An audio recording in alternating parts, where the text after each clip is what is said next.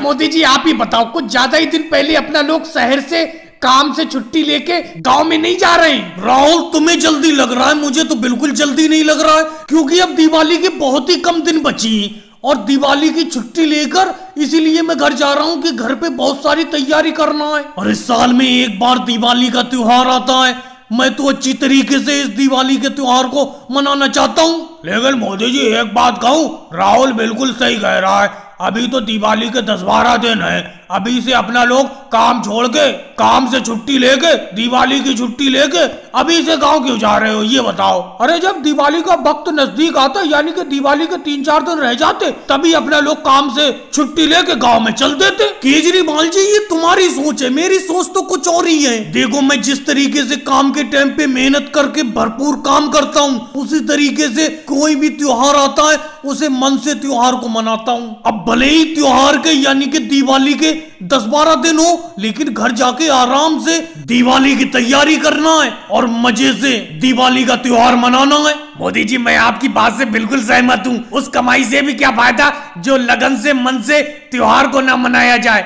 दिवाली आप सही कह रहे हो, साल में एक बार आती है तो दिवाली के त्योहार को अच्छी तरीके से मनाएँगे, अपना लोग जल्दी जाके अच्छा कर रहे हैं। और शिवराज सिंह जी, आप ये थैले में क्या ले जा रहे हो शहर से? कुछ नहीं, अखिलेश, कुछ थोड़े से शहर से खरीद के गाँव में पटाखे ले जा रहा हूँ। गाँव में इन पटाखों को बेचूँगा जाके। शहर में पटाखे सस्ते दाम में मिल गए, अब महँगे करके बेचूँगा। बस शिवराज सिंह जी, तुम तो आम के आम गुटलियों के दाम करोगे। मतलब शहर से भी मजदूरी कमा के, पैसा कमा के ले जा रहे हो।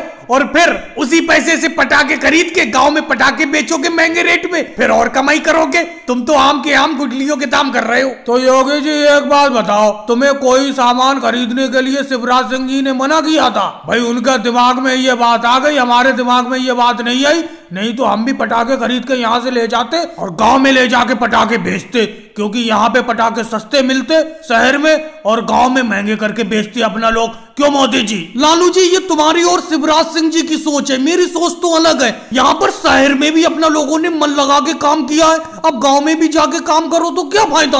अब शहर से काम की छुट्टी लेके, अपना दिवाली की छुट्टी लेके जा रहे हैं तो आराम से दिवाली मनाएँगे। गाँव में जाके और भाई लोगों को वीडियो लाइक करो, चैनल को सब्सक्राइब करो। अरे अखिलेश कितनी देर में मेरी साइकिल को रिपेयर करोगे? दो घंटे हो गए बैठे बैठे। अखिलेश हमें मालूम है कि तुमसे अच्छा इस एरिया में साइकिल मिस्त्री कोई नहीं है। लेकिन कम से कम किसी को इतनी देर तो मत बैठाया करो। पहले तो मोदी जी, ये बताओ, ये साइकिल का हाल क्या करके लाओ ये टेढ़ी मेरी कैसी होगी बुरी तरीके से? इसके आगे के और पीछे के पहिए बिल्कुल टेढ़े हो गए। कितना लोड लाद दिया इसके ऊपर। अखिलेश मैं तुम्हें क्या बताऊँ अपनी कहानी? ये जो मेरे बराबर में योगी जी और तुम्हारे बराबर में राहुल बैठा है, इन्हीं दोनों की देन है जो ये मेरी साइकिल बिल्कुल टेढ़ी हो गई। ये दोनों मेरी साइकिल पे एक साथ बैठ गए। जैसे ये दोनों मेरी साइकिल पर बैठे, साइकिल बिल्कुल टेढ़ी हो गई। अरे मोदी जी, मैं तो आपकी साइकिल पर पहले से आगे बैठा हुआ था। ये तो राहुल की गलती है। राहुल पीछे से चुपके से क्यों बैठ गया आपकी साइकिल पर? भाई मोदी जी, आप साइकिल चला रहे थे। मैं आराम से आगे बैठा हुआ था।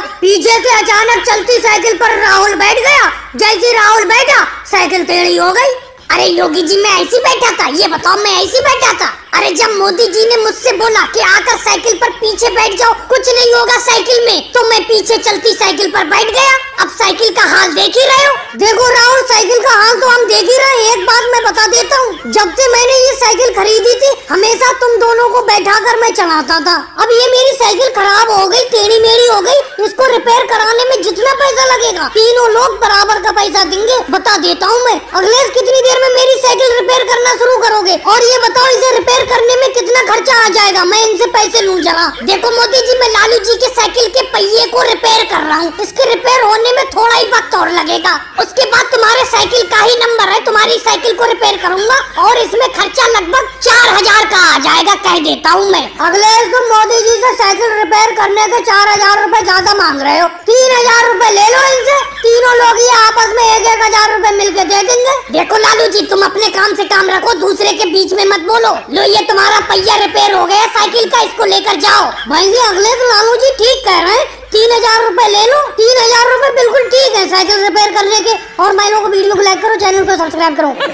अरे मोदी जी, हम आज ही से तुम्हारे खेत पर काम करना छोड़ रहे ये कोई बात है? इतना काम खेत पर कोई कराता है? अरे हमारे सर पर टोकरी पर इतना इतना गोभी लाद दिया तुमने कि हमसे चलना तो दुश्वार है। मैं तो आज ही से काम छोड़ रहा हूँ। क्यों? क्या कहते हो राहुल? अरे क्या बताऊँ योगी जी, मेरे तो सर पर इतना वज़न रखा है कि मेरी तो आवाज़ भी नहीं निकल पा रही है। ऐसा लग रहा है कि सर पर कोई पहाड़ रखा हुआ है। इतना गोभी सर पर कोई लादता है, जितना गोभी ये मोदी जी टोकरी में करवा के हमारे सिर पे रख कर मंडी में ले जाती हैं। राहुल योगी जी, तुम्हें अपने सर पर रखा हुआ गोभी दिख रहा है, लेकिन जो मैं सर पर रखा हुआ हूँ गोभी, उसको देखो। तुम्हारे सिर पे तो मुश्किल से पचास पचास किलो गोभी रखा हुआ है। मेरे सर पर तो पूरा एक क्विंटल गोभी रखा हुआ है। अरे, जब मैं अपने सर पर इतना गोभी ढो सकता हूँ, तुम क्यों नहीं ढो सकते? और ये गोभी कोई तुम फ्री में थोड़ी ढोती हो? अरे, दो सौ रूपए हर दिन मैं तुम्हें दिहाड़ी देता हूँ खेत से गोभी को मंडी तक पहुँचाने के लिए। अरे मोदी जी ऐसी दिहाड़ी जाए भाड़ में, जिसमें दो सौ रूपए की दिहाड़ी मिले और हज़ार रूपए का दर्द हो जाए पूरे जिसम में। आपकी इस टोकरी को खेत से मंडी पहुँचाते पहुँचाते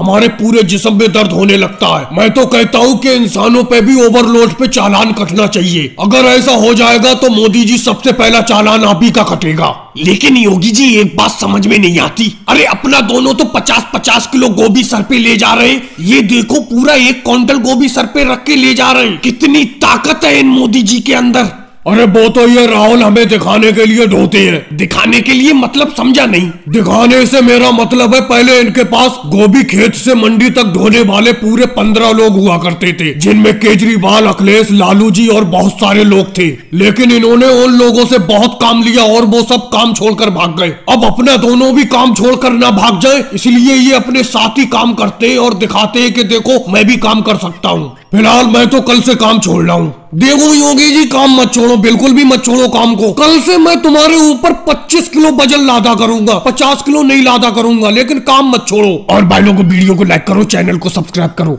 मोदी जी, साइकिल को थोड़ा तेज चलाओ, थोड़ा हल्के हल्के चला रहे हो तुम। क्या गजब की साइकिल चलाती हो तुम? मज़ा आ जाता है तुम्हारे साथ पीछे बैठ के साइकिल पर। योगी जी, तुम्हें तो मज़ा आ जाता है, मेरी तो सांस फूलने लगती है। हाँ भी फूल गई साइकिल चलाते चलाते। तुम तो आराम से पीछे बैठे रहती हो और आगे राहुल बैठा रहता है। मुझसे पूछो, कितनी मेहनत से चलती है ये साइकिल? अब तुम बैठते भी सब लोग हो एक साथ। अरे एक एक करके घूम लिया करो मेरी साइकिल पर। अरे, कैसी बात करते हो मोदी जी मज़ा तो तभी आता है जब मिल बैठती है तीनों यार। मैं तुम और योगी जी वैसे मोदी जी इस टाइम तीनों लोग एक साथ मत बैठा करो साइकिल पर। ट्रैफ़िक की चेकिंग बहुत हो रही है आजकल। कहीं अपनी भी साइकिल का कभी कोई चालान ना काट दे। अरे राहुल क्या सुबह शाम नाश्ते में नीम खाती हो जो इतनी कड़वी बातें करती हो? तुमने चालान का नाम लिया वो देखो चार चार पुलिस वाले अपनी साइकिल की तरफ़ पड़े चले आ रहे हैं। सब इंस्पेक्टर अखिलेश इनकी साइकिल रुकवाओ रुकवाओ साइकिल को। ये तीन तीन लोग एक साइकिल पर फिर रहे हैं। रोको भाई, रोको, अपनी साइकिल को रोको, यहीं पर रोक दो, बिल्कुल। जी बोलिए आप सब लोग इकट्ठे होके कैसे फिर रहे हैं? कोई बात हो गई?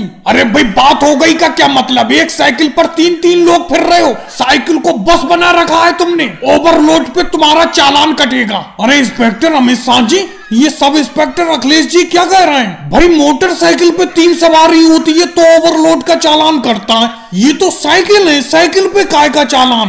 अरे भाई मोदी जी तुम्हारे मेरे ताल्लुकात अच्छे हैं इसीलिए मैं तुम्हें बता देता हूँ आज से साइकिल पर भी चालान कट रहा है। साइकिल पर सिर्फ़ दो ही सवारी बैठ सकती है तीसरी होगी तो चालान कटेगा। और अमित शाह जी इन मोदी जी को ये भी बता दो अब थोड़े दिन बाद साइकिल पर हेलमेट का भी नियम चालू होने वाला है। बिना हेलमेट के साइकिल नहीं चला सकते। अरे लालू जी अभी से क्यों डरा रहे हो पब्लिक को? साइकिल पर हेलमेट का नियम आने में अभी थोड़ा टाइम लगेगा। सरकार सोच रही है। तुम तो अभी से डराने लगे आम जनता को। अमित शाह जी इस बार छोड़ दीजिए। अब हमें नियम का पता चल गया। हम सवारी अब दो ही लेके चला करेंगे साइकिल पे।